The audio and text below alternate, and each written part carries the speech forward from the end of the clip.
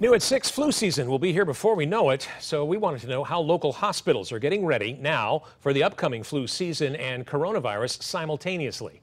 WAAY 31 Sophia Borrelli spoke with the chief medical officer at Highlands Medical Center in Scottsboro to find out what they're doing. We've not had experience as a medical community uh, with both of those occurring at the same time. The chief medical officer here at Highlands Medical Center told me that they're preparing for the challenges that may arise when it comes to this upcoming flu season and the coronavirus pandemic. We're thinking about it and making preparations uh, with each passing day. Dr. Lonnie Albin explained the different ways the hospital is preparing. One key is making sure that there are enough kits to test coronavirus and the flu. We want to make sure that uh, we'll have ample supply of our flu tests, so we're already beginning the ordering process for our flu tests uh, above and beyond what we currently have.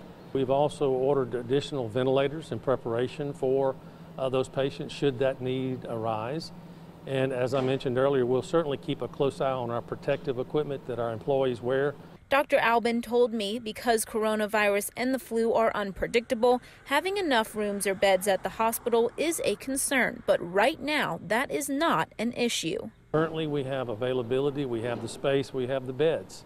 In the meantime, he says it's vital for everyone to remember this, especially with the holiday weekend ready to start. Practice social distancing, wear your mask, wash your hands, and let's take care of each other. In Scottsboro, Sophia Borrelli, WAAY 31 News.